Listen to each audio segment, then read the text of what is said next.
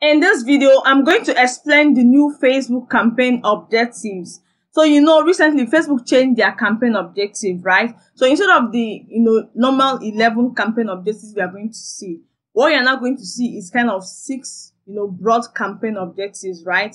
Like remember before, uh, campaign objective was kind of divided into, you know, three broad categories, right? Let me show it to you. It was formerly like this. That is the awareness stage, the consideration stage, and then the conversion stage. That was the old campaign objective, right? But now Facebook changed everything, right? And then kind of grouped it into six different campaign objectives, right? And now I've been receiving a lot of, you know, DMs from people telling me that they're kind of confused. They don't know which campaign objectives they should be using to run their ads to get the maximum results, you know, from their Facebook and Instagram ads. And that is why I'm actually creating this video today to show you, you know, the right campaign objective to use for your ad. Now we're going to start with an example ad, right? I'm going to create an example ad so that I can show you what I actually mean.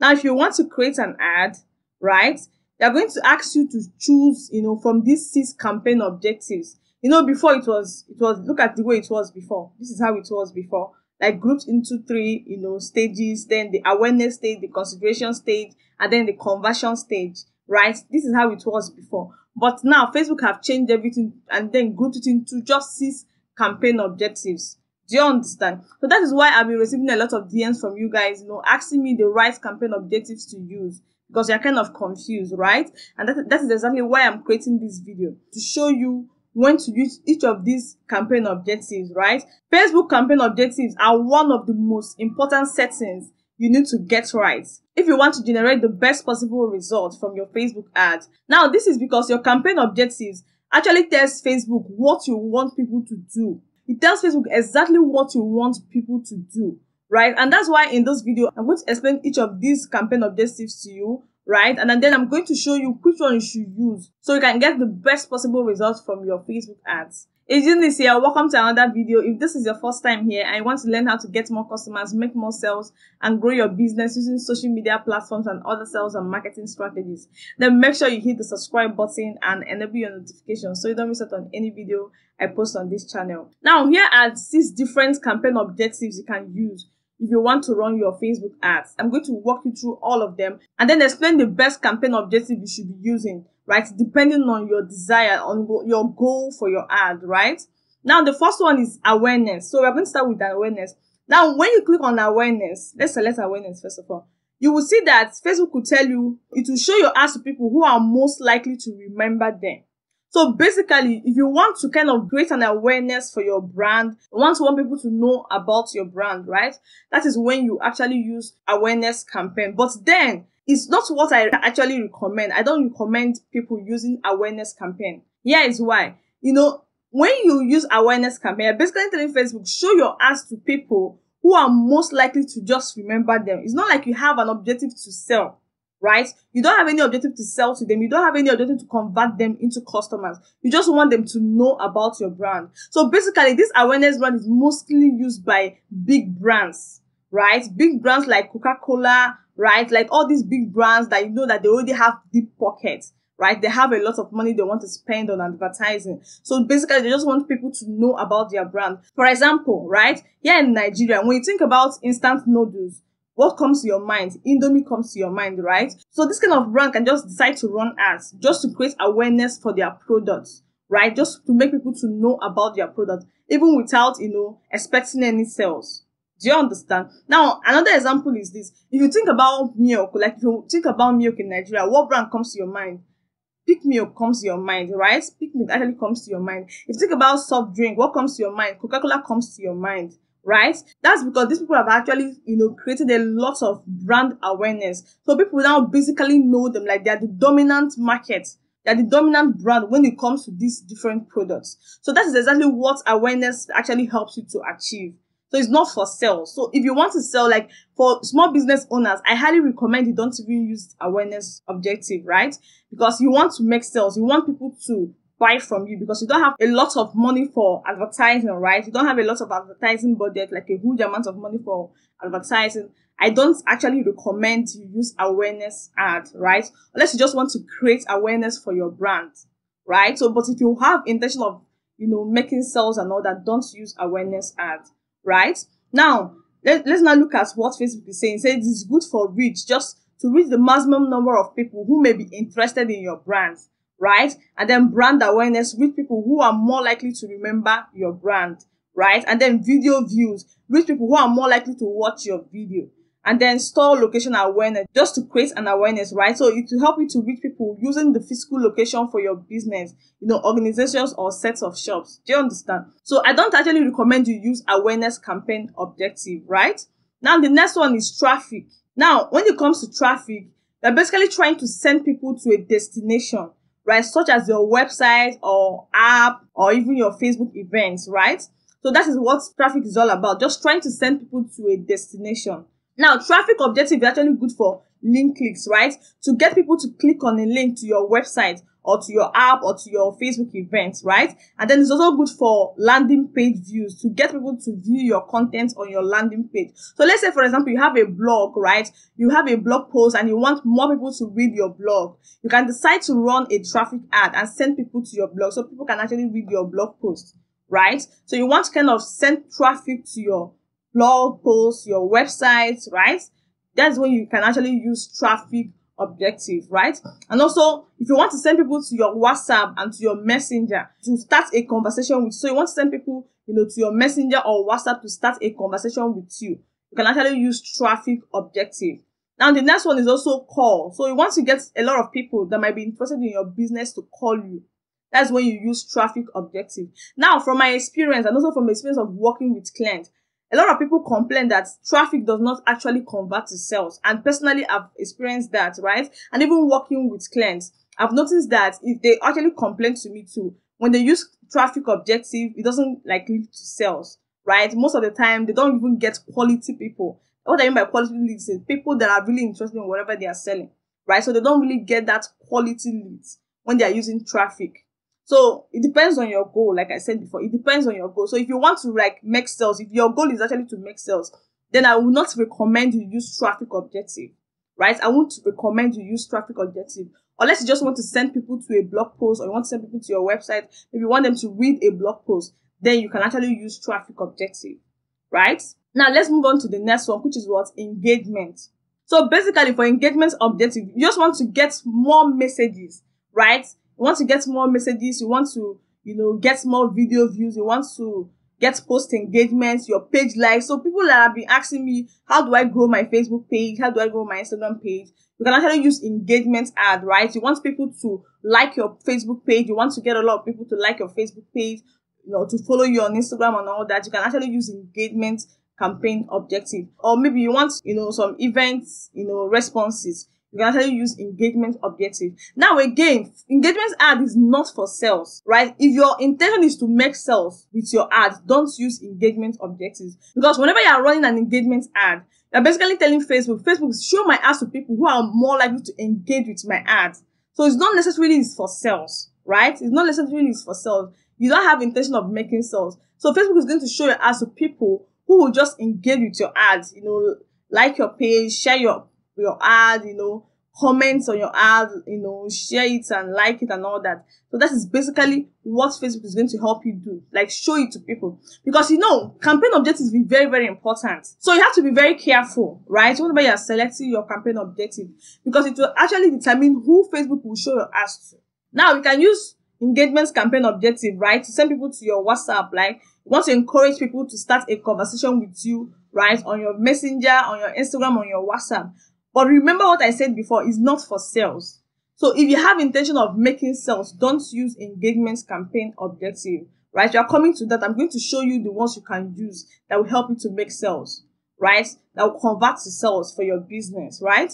Now, the next one is also video views. So you can actually use engagement campaign objective to reach people who are more likely to watch your videos, right? And also you can use it to, you know, get people to interact with your posts. And you can use it for conversions, right? So don't get it confused. This conversion is not basically for sales. So you want to get people to view your content. Are you seeing that? You want to get people to view your content, contact your business, add to a wish list or take another action on your website or app. It's not basically for sales. So don't get it twisted, right? This conversion is not for sales. so that you not go and start running engagement, you know, ad and then you not begin to complain that people are not buying when you're not using the right campaign objective. And the next one is lead campaign objective. So basically, with this particular campaign objective, your aim is to collect leads for your business or brand, right? So, but one good thing about this particular lead campaign objective is this. You can actually make sales when you use lead campaign objective. Yes, you can actually make sales. Like I've tried it before. I've even helped my clients to do that and she made sales like millions, right? So it can actually help you if you want to make sales. You can use leads and still make sales. But you know, you have to do it right, right? You have to get other, you know, variables right, your targeting, your ads copy, your sales copy, and all that. But if you use lead campaign objective, you can actually lead to sales because basically what you're telling Facebook is this you want Facebook to get leads for your business. So what are even leads? In case you don't know the meaning of leads, leads are people that are interested in what you're selling, people that are interested in your products or services you're providing, right? People that are likely going to buy from you later. They are just interested, meaning that they will actually buy from you if you convince them enough. So it actually leads to sales. Now there are different ways you can use this lead campaign objective, right? The first one is instant form. So basically, when you select lead campaign objective, you can send people to a Facebook instant form, right? So that's if you select instant form. So you find people willing to share their contact information with you or even other details by filling in a form. And you, you have to create this particular instant form within the Facebook ads manager, right? At the ad level, that's when you're going to create this form at the ad level, right? But at the ad set level, you're going to select instant form as your destination. Then at the ad level, you will not be able to create it. Now, if you don't know how to run a lead generation ad, I've created a video that is dedicated to this particular campaign objective. And I'm going to link that video in the description below or somewhere around this video, right? I showed you there how to create your instant form, how to select the right one, and every other single thing you need to know about lead generation ads. I've actually created it. So I'm going to link that video somewhere around this video or in the description below. So make sure you watch that video, right? But first of all, make sure you finish watching this video first before you go over to watch that one, right?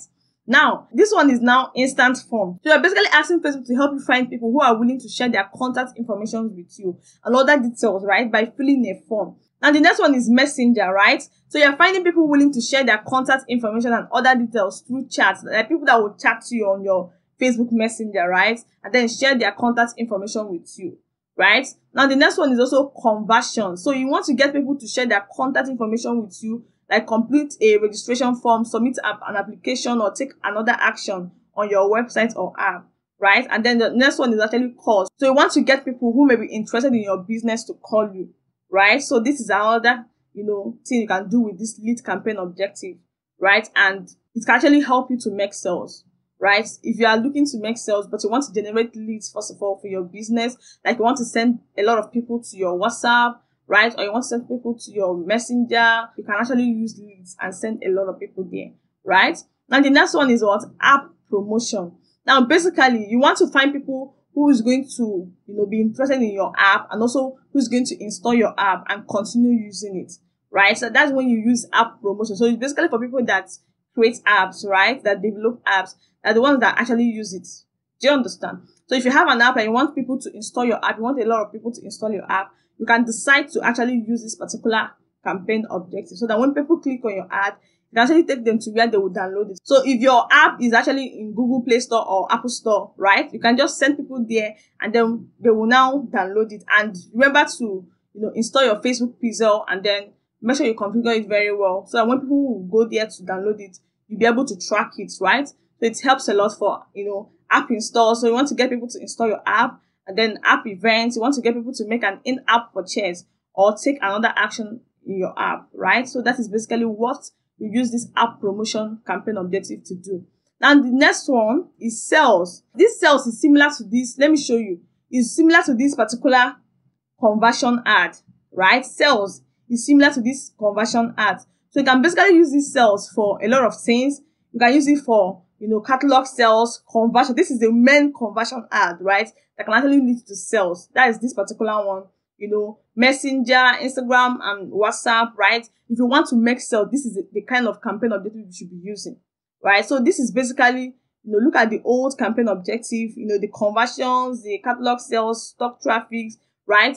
This is where it belongs. So this is now what Facebook have now condensed into sales as the campaign objective. So if you want to find people who are likely to purchase your product or services, then you need to use sales as your campaign objective. Now, are you now seeing the difference between these sales, right? And also these engagements. Look at it now. This engagement. Look at it. Get more messages, video views, post engagement, page likes, or event responses. Remember, it's not for you see that you can still send people to your Instagram DM or your WhatsApp DM, but remember, it's not for sales. Are you seeing the difference between these engagement, you know, conversions, right? Just taking people to, you know, come over and then, you know, view your content and all that. But when you click on sales and you now check the conversions for sales, this is get people to add an item to their basket, make a purchase, start a subscription, or take another action on your website or app. So do you not see the difference between conversions, right? That is for sales, right? And also conversions for engagement. So don't try to mix it up if you want for sales, if you want to optimize for sales, you want to make sales, or maybe you're selling e-commerce products and you want to make sales, your, your goal for your ad is to make sales. Use sales as your campaign objective, right? So you can see this conversion here is what to get people to add an item to their basket, make a purchase. Do you now see the difference? Now the next one is actually catalog sales. So if you want to get people to buy products or services from your catalog, so maybe you created a catalog on your Facebook page and you have kind of different products all right, to promote, or maybe somebody, you know, visited your website but didn't buy, kind of added to carts, maybe one of your products and all that, and you kind of have catalog for it. Maybe you linked it to even your Shopify store, right? You can decide to run this catalog sales ads, right? And then send people to your catalog so that they can now go through it and then select the one they want.